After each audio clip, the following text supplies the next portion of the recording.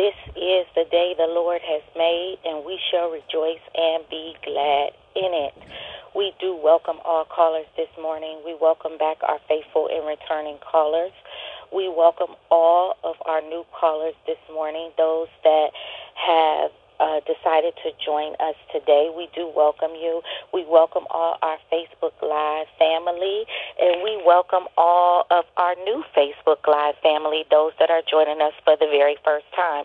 We welcome those that will be joining us later, either via Facebook Live, via callback number, or via YouTube channel. We do not take it lightly that you decided to take 15 minutes out of your day and go before the throne of grace with us. So we do welcome you and we do thank you.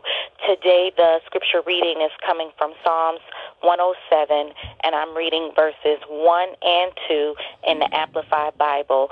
Again, the scripture for today is coming from Psalms 107, and I am reading verses 1 and 2, and I'm reading in the Amplified Bible. But first, I want to do a quick recap of where we're at so far this week.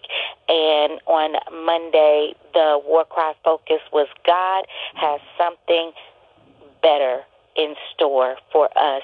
And on Tuesday, that prayer warrior brought the house down with the Tuesday devotion speaking on favor. And on Wednesday, the prayer warrior brought the house down and the prayer focus was focused on rest in the Lord. And today, today we're going to go before the throne of grace with thankfulness thankfulness. Often we are constantly asking God over and over again for things, but today we are going to stop and just say thank you. We're going to pause and just say thank you. Thankfulness, the definition for thankfulness, expression of gratitude, acknowledgement of favor. Gratitude, a lively sense of good received. Thankfulness, expression of gratitude, acknowledgement of favor. And that definition came from the King James uh, Dictionary. Let us go to the Word of God this morning, and it reads Psalms 107, verse 1. Oh, give thanks to the Lord, for he is good, for his compassion and loving kindness endures forever.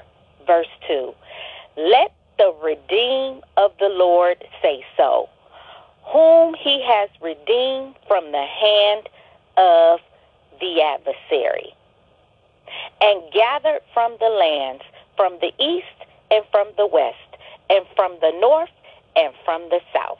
I went on to verse 3 just in case, uh, for contextual purposes. I, I do apologize. So I read 107 uh, Psalms 107, verses 1 through 3, Amplified Version. Let us go to the throne of grace this morning. Dear gracious and eternal Father, we humbly come to you at this time to just thank you, to praise you, to bask in your presence this morning, Daddy God. We reverence you this morning. We offer up a sweet smelling sound to you this morning, Daddy God. Daddy God, we honor you. We worship you in spirit and in truth, Daddy God. Daddy God, we thank you for being our Lord of Lords and our King of Kings and our Lord and Savior over our lives, Daddy God. You are Alpha and Omega. You are the beginning and the end. You are the author and the finisher of our faith. You are our Redeemer, Father God. You are our solid rock our firm foundation, Father God. We can count on your promises, Daddy God. So this morning, we just want to worship you this morning, Father God. We want to magnify your name, Father God. We want to sit your name on high, Father God. We want to give you all the honor, glory, which is due unto you this morning, Daddy God. Daddy God, we thank you for another day of life, Father God. Thank you for tapping us on our shoulders and telling us to arise, my daughter, arise, my son. I still have work for you to do in the land of the living. So we thank you this morning that we have yet another opportunity to get it right with you first and foremost, Father God. Then get it right with our loved ones, Father God. Whomever we may have trespassed on this day or yesterday, Father God, we thank you for the opportunity to get it right, Father God.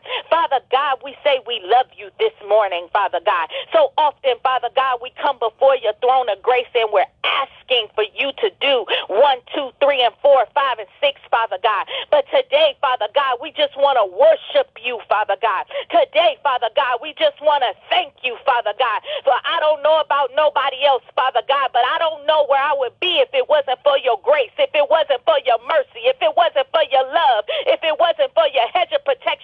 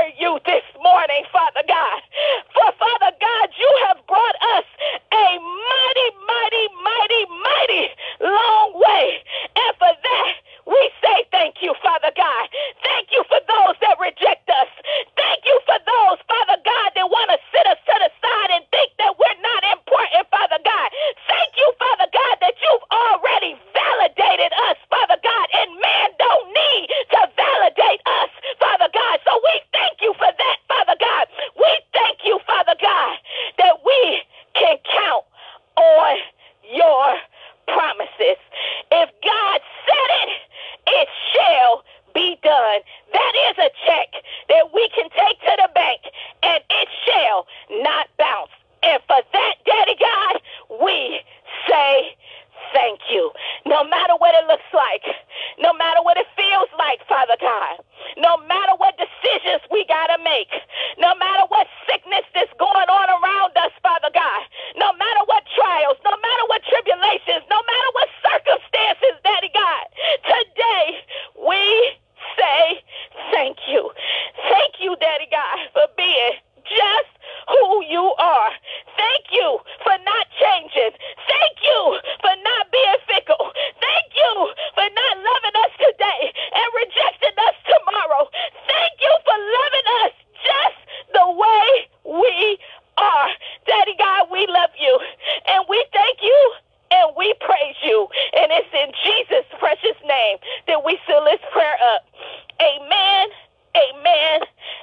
Amen.